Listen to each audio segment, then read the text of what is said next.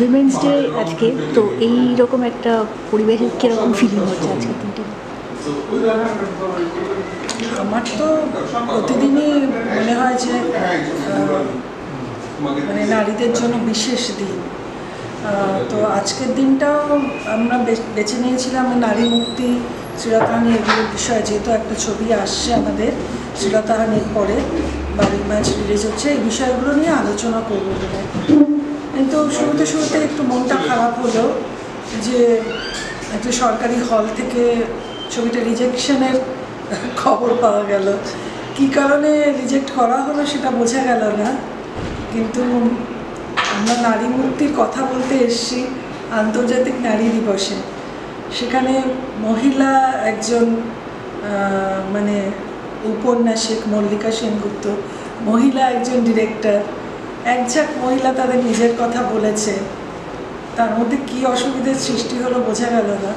সব মিলিয়ে আজকে নারী দিবসটা মনে হলো একটু মানে একটু দুঃখের কারণ হয়ে দাঁড়াল। আমি আশাবাদী দর্শক বরাবরই আমাদের সাথে থেকেছেন যারা আমরা নিজেকে ইন্ডিপেন্ডেন্ট ফিল্ম মেকারও বলতে পারি বিকজ বড় কোনো মানে প্রোডাকশন হাউসের ছত্রছায়া আমরা কাজ করতে পারিনি আজও। দশটা ছবি হয়ে গেল। তাই আমার মনে হয় যে দর্শকরা রিজেক্ট কিন্তু করেনি। তারা ছবি দেখেছে, দেশে বিদেশে আমাদের ছবি দেখেছে, আমার পরিচালনায় ছবি দেখেছে এবং নারী দিবসে নারী পুরুষ নির্বিশেষে আমি সবাইকে বলব যে সম্মানটা অন্তত আমাদের দিক।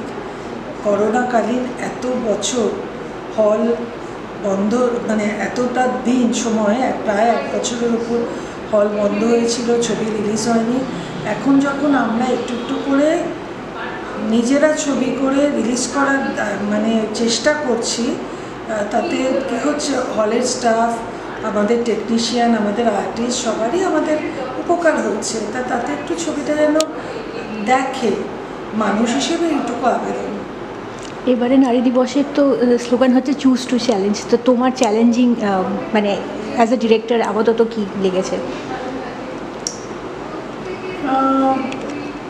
এটাই চ্যালেঞ্জ আমি বলতে পারি যে, যেখানে অনেক বড় বড় হাউসে এবং স্বঘোষিত বড় বড় ডিরেক্টরের ছবি আটকে রয়েছে, তারা সাহস পাচ্ছে না। তারা ভাবছে আরেকটু দেখি ছবি রিলিজ করতে। সেখানে আমার প্রডিউসার একদম নতুন। আমি নিজেও মানে ইন্ডিপেন্ডেন্ট একদম ওইভাবেই কাজ করি।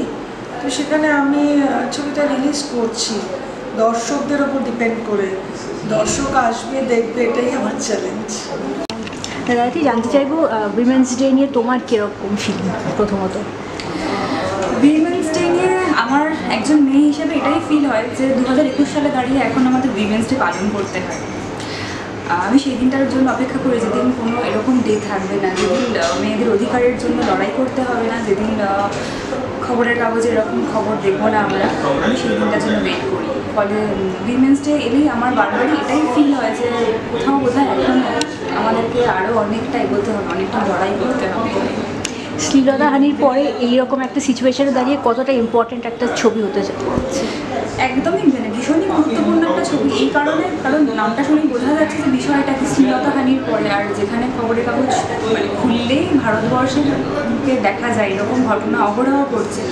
সেইখানে দাঁড়িয়ে এইরকম একটা ছবি আমার মনে হয় কোথাও মানুষকে একটু হলেও নাড়া দেবে এটা একটা খুবই, আমি বলব রেশমিদির একটা খুবই মানে ভালো সিদ্ধান্ত এরকম একটা বিষয় নিয়ে ছবি করা। বারোই মার্চ রিলিজ করছে, আপনারা দেখুন। এটাই বলব আর কি।